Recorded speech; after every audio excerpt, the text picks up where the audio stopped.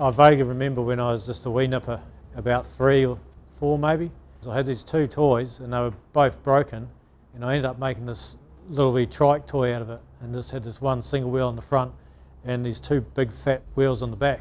And that was my toy, I loved it. I always played with it all the time. Didn't even think about it for ages until my father dropped some photos in one day and there was these photos of me building this little trike.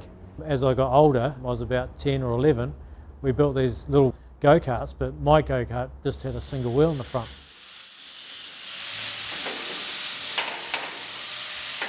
The main thing I do like about doing this type of thing is I enjoy building something that's completely different from what everyone else has got.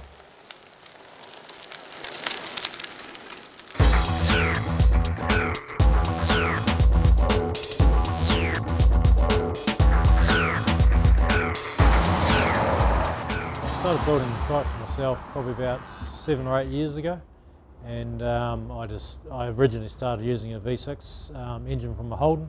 A few people sort of heard that we were doing it and um, before I knew it I was building trikes for other people and after sort of eight years I still haven't got one for myself.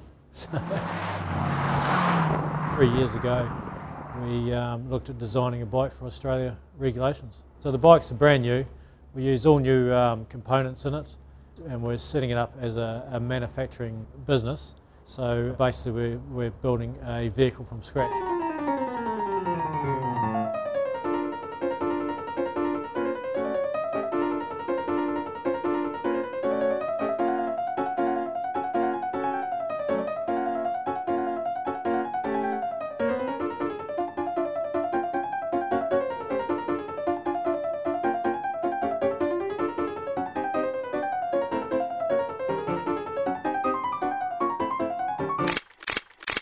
The centre of gravity is so low that they are so stable and you can push them as hard as you want around a corner and it doesn't even feel like letting go. And they're just comfortable. You can sit in them for hours and hours and just cruise along. They sort of cover every sort of aspect of the vehicle. It's comfortable, it's got a heap of power, or you can just cruise. We decided to go with a uh, 350 Chev engine because readily available um, and they're a good small compact engine and they sound good as well and they're very well known brands. So we stuck with the Chevs and we're using a, um, a later model engine which is a, a Vortec engine and behind that we're running a, um, a B&M 350 gearbox automatic and then that way you just sit on your bike, you chuck it in gear, you accelerate you brake and that's it. Nice and easy ride. Seats are just a standard bucket seat done by Racetech um, and basically uh, carbon fibre as well. Uh, once we've checked them all, make sure the seats fit in the frame, we basically strip it out. We get the, um, the seats reupholstered in marine grade um, upholstery, so they're waterproof, and we get our logos, put them in, in there as well. So. To be honest, people get a bit scared. They think, oh, it's, how do I ride this thing? But honestly, within five minutes, you're sweet. You can ride it on a car licence um, so you can insure it as a car as well. You don't need to wear a helmet. Um, we have uh, full diagonal and lap seat belts. Um, so basically just jump on, chuck it in gear and uh, away you go.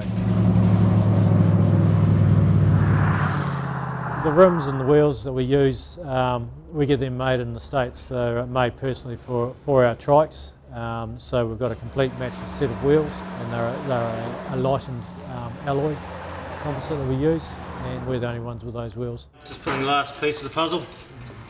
I've uh, been waiting on these wheels for two months now. So we got the last two just now. And so that finishes this uh, trailer off. Yeah. Which is all good to go. They're good for going away for a week because you can actually take a wee trailer behind them as well. Um, so you can camp out for a week um, or there's a boot on there as well, so you can chuck a six pack in there and um, go and park up for the night somewhere and have a good night. They look great. As soon as you go out the door, um, people will stop and stare at the bikes and they just are amazed at how well they look. And, uh, and the other thing is you fit in with the bike crowd and you can also fit in with the Hot Rod Club as well. So it sort of it covers all, all sort of um, areas of um, enthusiasts.